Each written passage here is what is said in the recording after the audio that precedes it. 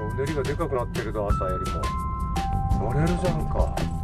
えっていうかあの工事は一体何なんでしょうか。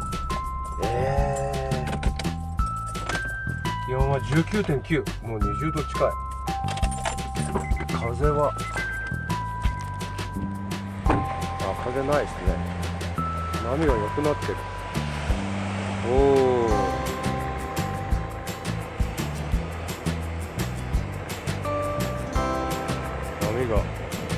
朝一よりもすごく良くなっているけども乗れる感じではないですね。あの護岸工事というか工事をやってますね。あでもロングなら立てるぞ。あ入ろうかな。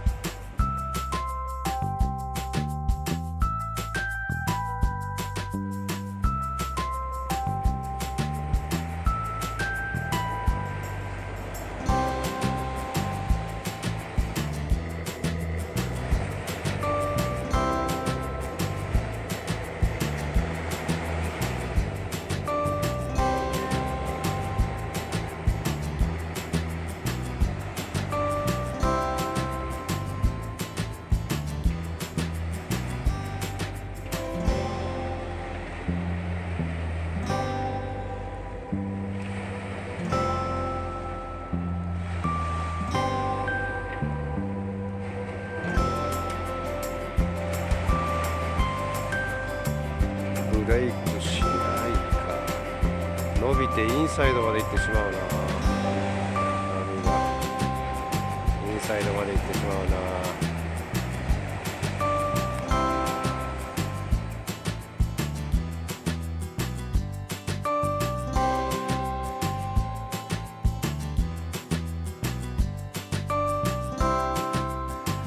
現在2時20分の本ポイントはもう工事が終わってますね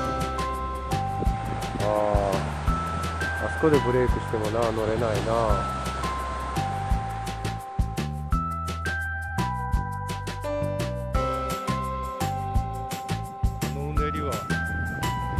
お。うん。